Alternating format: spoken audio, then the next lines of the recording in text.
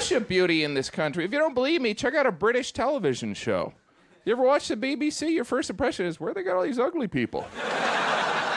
these are the people that got the acting jobs. I feel like I'm watching an Orville Redenbacher commercial. Think about it. You ever watch a music video and the lead singer is not attractive? Aren't you kind of surprised? You're like, wow, they must be talented. Is there nothing to look at? Salsa is like the Mexican ketchup. Marinara is the Italian ketchup, and British food is terrible.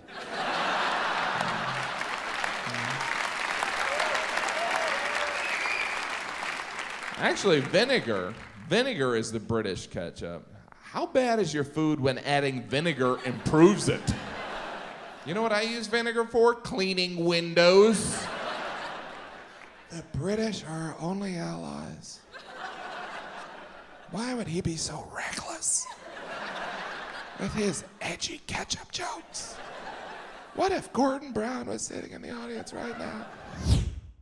I do enjoy traveling to other countries, seeing how different, but essentially similar we all are. Like, like the UK is not that different from the US.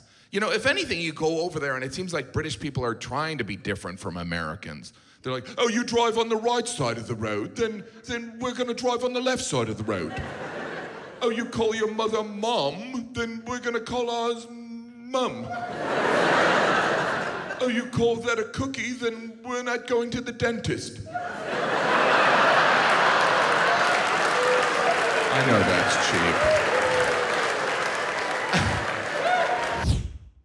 I did notice something when I was over there. You know, British people, they don't say the before hospital. You ever notice that? They're like, hospital? I was feeling knackered, so I went to hospital. Whenever they would do that, I'd say, stop that, that's wrong and weird. Are you trying to sound like a polite caveman? And I had a friend from London. He was like, What makes you think you're doing it properly? And I go, Because I'm American and we invented the English language. it was a pet peeve of mine, so I did some research. You know why British people don't say the before hospital? Because they're dicks. yeah! I know that sounds harsh. But admit it, British people always talk to Americans like we just walked into their jewelry store with two full bags of garbage. uh, may I help you? Are you lost?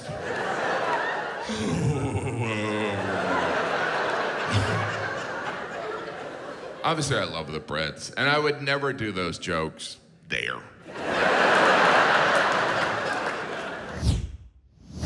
I've been lucky enough to perform in the UK a couple times, and one time I was walking through Piccadilly Circus, which, for the record, is a horrible circus. There's no animals. And no, I was walking through Piccadilly Circus, and I saw they had an M&M store, and I looked at that M&M store, and it just made me think of all the things the British have given the Americans, like our language, Shakespeare, the Magna Carta, and I looked at the M&M store, and I thought, now we're even.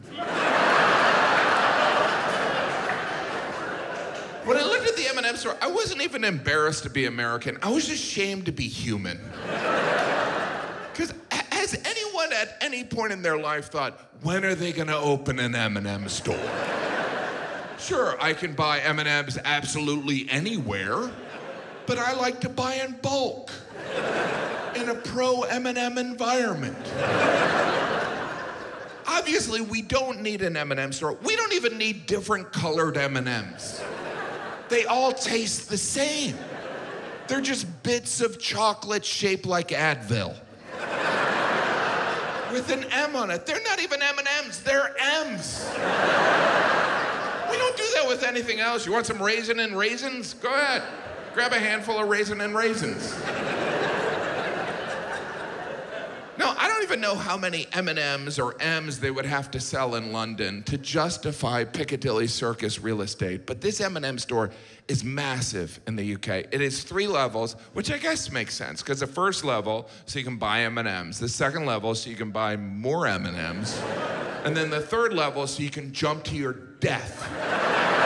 Because you wasted time in an M&M store.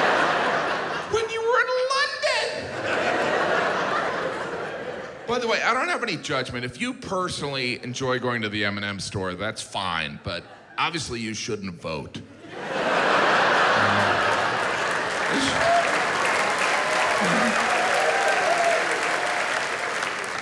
I was with my kids at the time, and they wanted to go to the M&M store because little children only want to do horrible things. kids never want to do something fun like sit in a dark bar and drink beer. And I remember standing there with my kids, and I was aware that there were other parents with their children in the M&M store because that's what you do as a parent. You do things with your kids because you love them. But I realized in that moment, I don't love my kids that much. I love them enough to walk by the M&M store.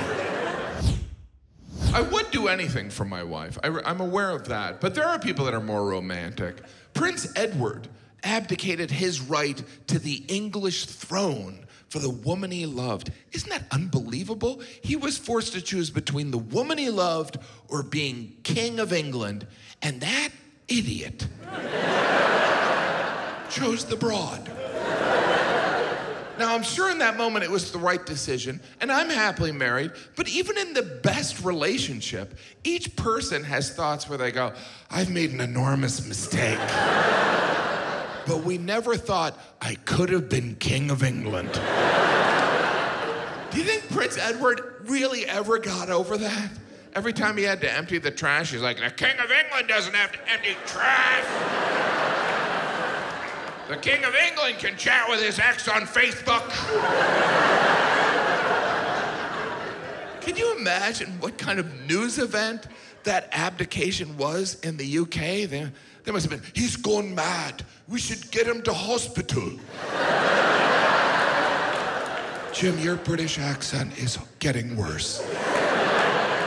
Why wouldn't you take five minutes and learn a good accent? It's just lazy. It's just lazy. Hi, thanks for watching. Hit subscribe if you want.